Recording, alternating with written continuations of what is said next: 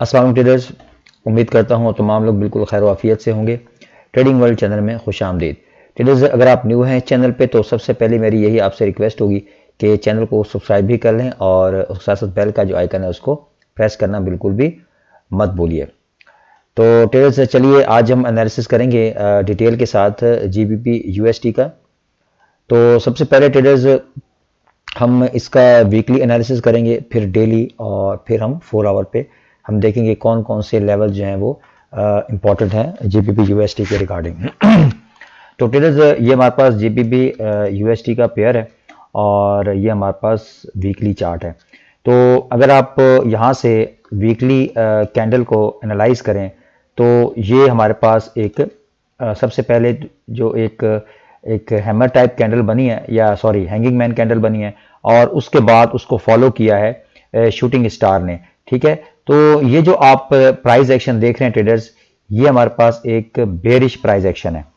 ठीक है? तो ये हमें बताता है कि अगर हम लॉन्ग टर्म की बात करें तो लॉन्ग टर्म की अगर बात करें ट्रेडर्स तो मैं इसे जीबीपी यूएसडी को नेक्स्ट दो से तीन वीक या नेक्स्ट मंथ भी कह सकते हैं, मैं इसको बेरिश देख रहा हूँ। ठीक है? क्योंकि जो वीकली कैंडल्स होती हैं और वो किसी इंपॉर्टेंट लेवल के ऊपर जाके फॉर्म होती हैं ठीक है? अब एक और चीज़ मैं आपको बताता चलूँ कि अगर मैं यहाँ से अगर मैं इसका जो प्रीवियस हाई है तो यहाँ से मैं फिबोनाची लेवल ड्रॉ करता हूँ, ये इसका हाई और ये लो ठीक है? तो ट्रेडर्स ये आप ज़रा देखें यहाँ पे कि ये हमारे पास 61.8 का रिट्रेसमेंट लेवल है, ठीक है? तो ये कितना खूबसूरती के साथ इसने, अब एक तो 61.8 जो रिट्रेसमेंट लेवल है, उसके ऊपर यहाँ पर एक बेरिश प्राइज एक्शन फॉर्म हुआ है, ठीक है? मैं आपको जो चीज़ बताना चाह रहा हूँ। एक एक स्ट्रॉन्ग और ये भी आप देखेंगे टाइम फ्रेम कौन सा है? वीकली का है।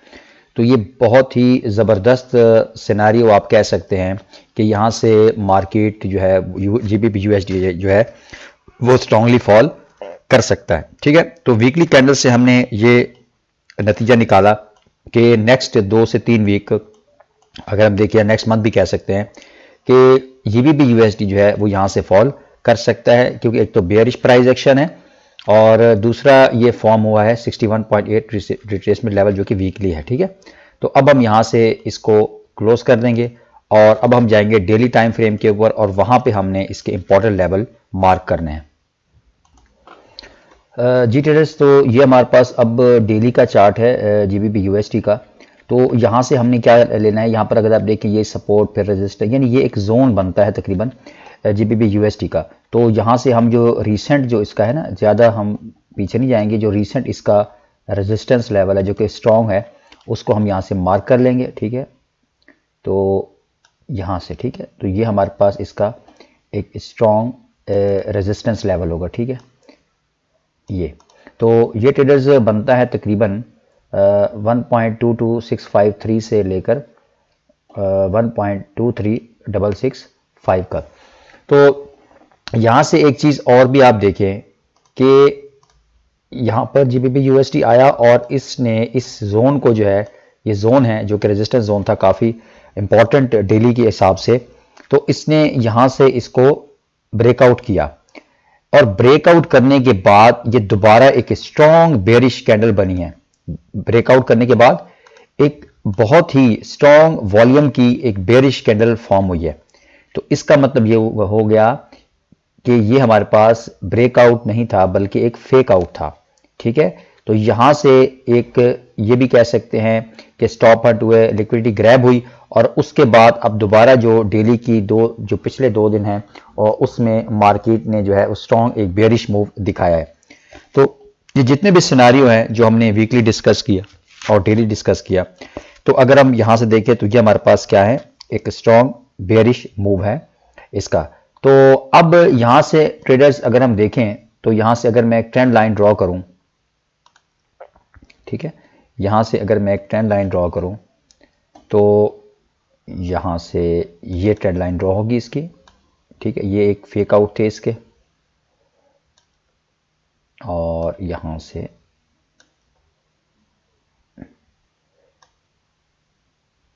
ये चीज़। ठीक है? तो अब इस ट्रेंड लाइन लगाने का मकसद यह है कि यहाँ से आप देखें कि यहाँ से जीबीपी यूएसडी जो है दोबारा इसी ट्रेंड लाइन के जहाँ से इसने ब्रेकआउट किया, दोबारा इस ट्रेंड लाइन के ऊपर, यहाँ से ब्रेकआउट किया, दोबारा इस ट्रेंड लाइन के ऊपर जाके क्लोजिंग दी है। ठीक है? लेकिन अब अगर आप देखें तो इस ट्रेंड लाइन को जीपीपी यूएसटी ने यहाँ से ब्रेकआउट कर दिया है नीचे की तरफ़। ठीक है? तो यहाँ से अब हमारी फोर आवर में जाके हम देखेंगे कि इसके कौन कौन से इंपॉर्टेंट जोन है कि जहाँ जहाँ से हम सेल की ट्रेड ले सकते हैं ठीक है? क्योंकि यहाँ से आपने करना सेल ही है ठीक है? बाय बिल्कुल भी नहीं करना। आ, लेकिन उसके लिए अब हम यहाँ से एक इसके स्ट्रॉन्ग जो सपोर्ट जोन है अगर उसको ब्रेक करता है यहाँ पे मैं आपको बताऊँ कि ट्रेडर्स ये जो इसका जोन होगा फोर आवर की अगर मैं बात करूँ ठीक है? अब ये जो जोन है ये बहुत इंपॉर्टेंट है। ठीक है, यहाँ से क्योंकि अगर आप प्रीवियस देखें ना, ये जीपीपी यूएसटी क्या थी? एक सपोर्ट थी। ठीक है, यहाँ से देखिए रेजिस्टेंस था पहले, फिर यहाँ से सपोर्ट लिया, फिर यहाँ से सपोर्ट लिया। अब अगर जीबीपी यूएसटी जो है, वो इस जोन को ब्रेकआउट देता है नीचे की तरफ़, ठीक है? और ये जोन बनता है जनाब जब मैं आपको बता देता हूँ, ये जोन आपने ज़रूर मेंशन करना है। इक्कीस ज़ीरो बहत्तर से लेकर ये बनता है जनाब, इक्कीस सात।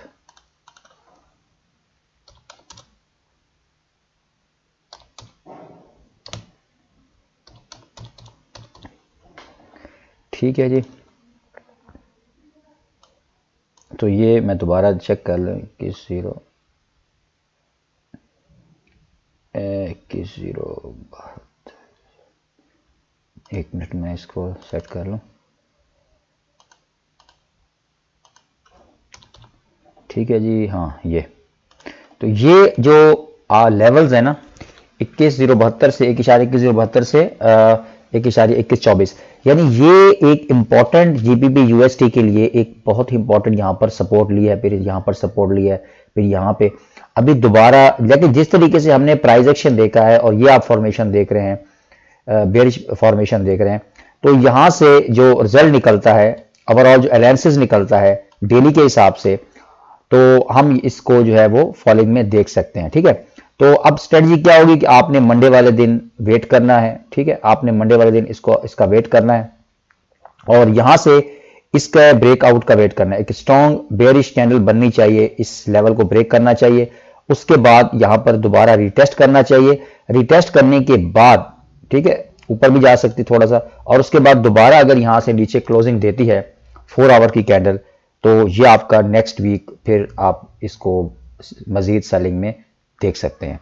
तो ये इसकी एक स्ट्रेटजी थी। हमने ट्रेंड देखा वीकली कैंडल को एनालाइज किया डेली को एनालाइज किया, उसकी फॉर्मेशन देखी फोर आवर में जोन क्रिएट किया, जो कि हमारा फाइनल डिसीज़न ये हुआ कि अगर यहाँ से इस लेवल को ये ब्रेकआउट देता है, फिर रिटेस्ट तो फिर हम जीपीपी यूएसडी को सेलिंग में देख सकते हैं। टारगेट की जहाँ तक बात है तो वो मैं हमेशा आपसे कहता हूँ कि आप कम अज कम one two one point five ratio का टारगेट रखें।